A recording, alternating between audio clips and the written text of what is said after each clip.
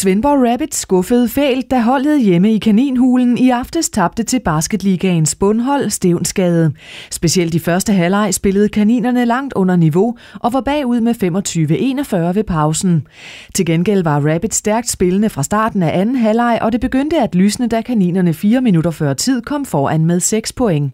Men hjemmeholdet kunne ikke holde fast i de gode takter og endte med at tabe 73-75. Vi graver os alt for dybt et hul og, og kommer slet ikke ud, som vi skal. Øh, og et hold som Stævnskerne, de, de er svære at spille mod. De spiller uden nogle rigtig store folk, så, så, så de er gode. De, hvis de rammer deres skud, så er det rigtig svært at spille mod.